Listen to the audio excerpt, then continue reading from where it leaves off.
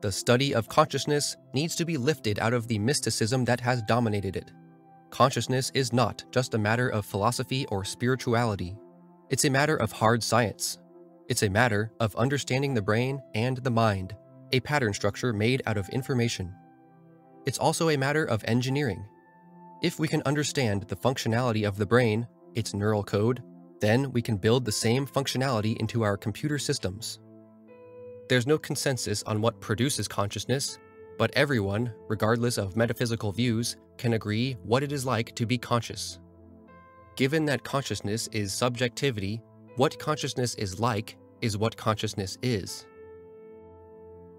Mind and consciousness are two different but somewhat overlapping terms related to the phenomenality of our experiential reality Different species have a variety of their biological information processors, which unsurprisingly results in qualia diversity. All species live in their own unique sensory universes. There is something it is like to be an organism. The human brain, our biological wetware, has a fractal structure on many genetic and abstract cognitive levels.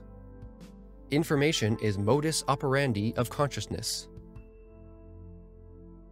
if we are to reason for the non-dual picture of the world, then quantum physics is directly linked to consciousness.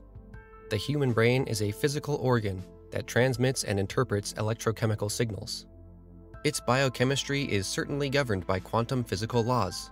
Research has shown that consciousness is non-local, a scientific way of alluding to a connection with a higher dimensional order.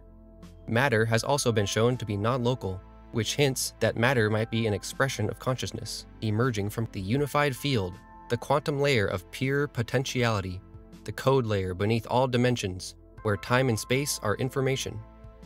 Reality is fundamentally experiential. Nothing is real for us until perceived.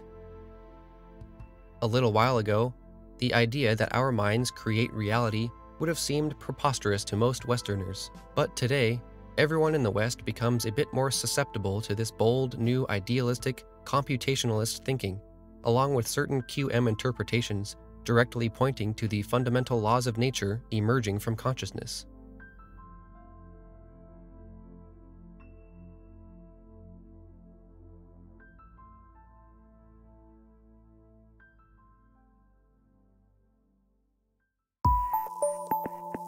Ecstadelic Media